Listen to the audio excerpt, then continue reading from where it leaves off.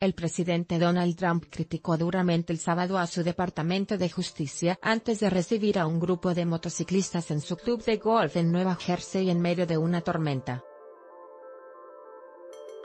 Docenas y docenas de flamantes motocicletas Harley Davidson, Honda y de otras marcas del grupo Vickers for Trump, motociclistas por Trump, acudieron a la propiedad en el centro del estado para lo que había sido promocionado como una oportunidad para retratarse con el presidente al aire libre. Pero los chubascos y las advertencias de inundaciones echaron por tierra el plan, por lo que los húmedos motociclistas ingresaron a un salón con candelabros de cristal en el techo, donde el mandatario firmó autógrafos y posó para selfies mientras sus huéspedes abucheaban a los reporteros. Fue una escena caótica, clásica de Trump, que hizo recordar sus primeras reuniones de campaña, en las que privaba la desorganización. El presidente continúa con unas vacaciones de trabajo lejos de Washington. Trump inició su día en Twitter a las 8.36 de la mañana con una retaíla en contra del FBI, al que el mandatario acusó de emplear una táctica de cerrojo ante una solicitud de registros públicos para tener acceso a los mensajes de texto del subsecretario de Justicia Andrew McCabe. ¿Qué están ocultando? Preguntó Trump y amenazó que podría tener que involucrarme personalmente en asuntos internos del FBI, al tiempo que advirtió, no destruyan. Trump lució de mejor humor cuando saludó a los motociclistas, que corearon cuatro años más. Y Estados Unidos. Mientras él ingresaba al salón, la lluvia descendía raudales por las ventanas y se formaron charcos en el campo de golf.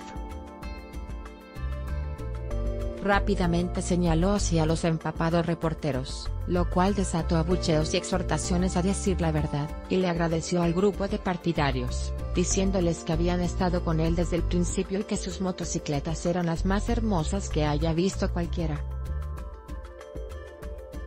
Después se introdujo entre ellos y allí estrechó manos, posó para selfies y firmó autógrafos. En un momento dado, Trump regresó al podio para preguntarle a la multitud cuál era su punto de vista sobre la prensa, lo que generó más abucheos.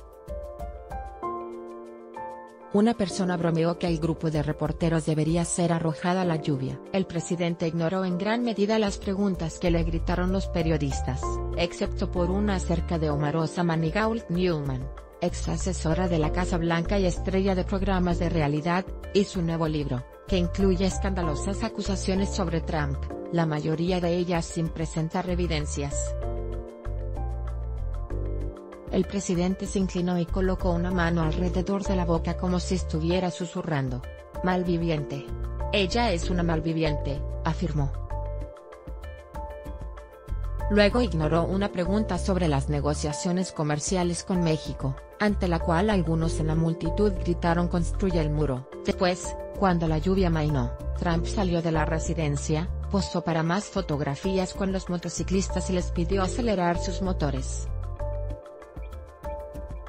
Escuchemos esos motores ahora, pidió, e hizo un gesto para que rugieran aún más fuerte. Horas antes, Trump desató su ira sobre el secretario de Justicia Jeff Sessions y los presuntos enemigos del presidente en el FBI, incluido su exdirector James Comey, McCabe y Peter Strzok, un agente del FBI que fue retirado de la investigación del fiscal especial Robert Mueller sobre la interferencia rusa en las elecciones de 2016 después de que Mueller se enteró que Strzok había expresado que Trump le desagradaba en mensajes de texto. Trump los calificó a todos de payasos y perdedores que habían lastimado a tantos de los grandes hombres y mujeres del FBI. El mandatario también atacó a Sessions, algo que ya había hecho en el pasado, llamándolo paralizado de miedo y sin acciones. Más noticias en sucesos destacados desde que Trump fue elegido, fuente, 24-7